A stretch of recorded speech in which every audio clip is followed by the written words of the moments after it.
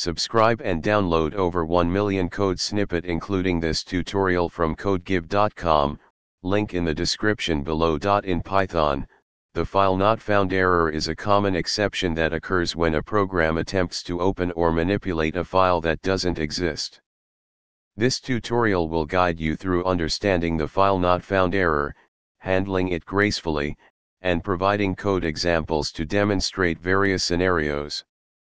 The file not found error is raised when an operation involving file handling, such as opening, reading, or writing, is performed on a file that cannot be found at the specified path. This exception is a subclass of the OSERROR class and is raised by various file-related functions. Double-check the file path to ensure it is correct. Use absolute paths if necessary. Before performing file operations, confirm that the file exists using os.path.exists. Consider edge cases such as file deletion or movement during program execution. Handling the file not found error is essential for writing robust file handling code in Python.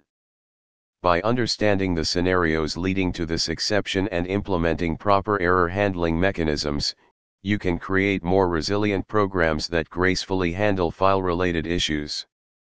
ChatGPT